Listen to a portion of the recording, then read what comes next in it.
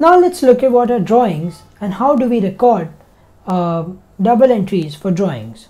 So first of all, drawings is an act of withdrawing cash or any other asset from the business by the owners for his or her personal use. So for example, Alex on March the 3rd uh, decides that he's drawing $100 from the business bank account. That means he's taking $100 worth of cash from the business bank account for his own personal use. Similarly, Alex could do the same thing with any other asset also, such as machinery, furniture, inventory, stationery, anything that is of the business, he can take it as his drawings. So let's make write a transaction over here of drawings to understand the double entry. Before that, let us understand that we already had a capital account the start of the business, correct? Where we recorded the amount that Alex is giving to the business, correct? Alex had given $80,000 worth of cash into the bank account of the business. That's why a capital account was credited as was giving $80,000. But now, when Alex is taking the money away from the business, he's drawing money from the business, why aren't we using the capital account but creating a separate drawings account? The reason for this is, let's take for example, Alex decides on March the 3rd he took away $100. Similarly, he decided to do the same type of different transactions, taking away stationery, cash, sometimes furniture, again cash, cash, cash, several times throughout the year. And this adds up to 40 different transactions.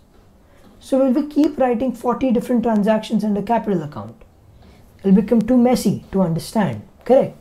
That's why to make it much more clear and easy to access the accounts, we create a separate drawings account where all the drawings of the owner that he keeps taking away, uh, any withdrawing that the owner does of cash or assets is recorded under the drawings account.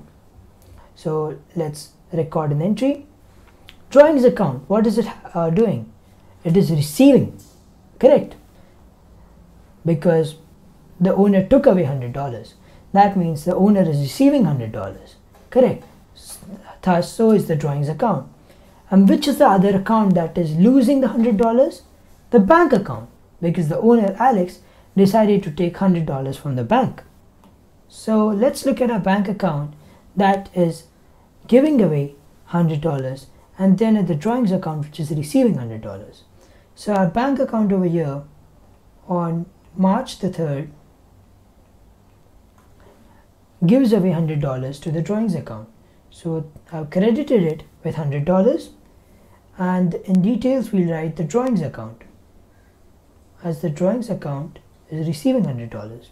Similarly in our drawings account we'll go to the debit side, the receiving side and write over there firstly the date which is March 3rd then the account which gave the $100 which is the bank account and over here we'll note $100 which is the amount received. So this is how, uh, how we receive uh, record drawings. Now take for example, owner Alex decided to take away inventory worth $100. So we'll just write over here, instead of bank account, we'll write over here inventory account. Okay, and so having bank account over here, we'll have the inventory account.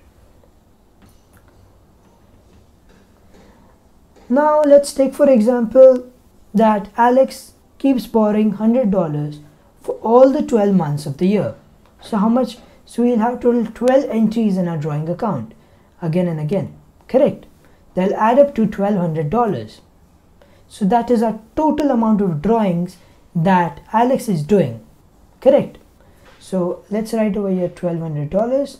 That's the total amount of drawings that's taking place. And now at the end of the year, what happens is a drawings account will be closed and that $1200 worth of drawings account uh, $1200 worth of drawings will be shifted to the capital account. Now a capital account over here will be debited because similarly how our drawings account was receiving so is our capital account receiving. Correct. So I'll go to my capital account and write over there $1200 this is at the end of the year. So let's write 31st December 2021 what will happen is the capital account will be debited by all the drawings that have taken place throughout the year. So over here I'll write the drawings account and in the amount I'll write $1200 okay. So this is how a capital account will also be affected by the drawings that take place throughout the year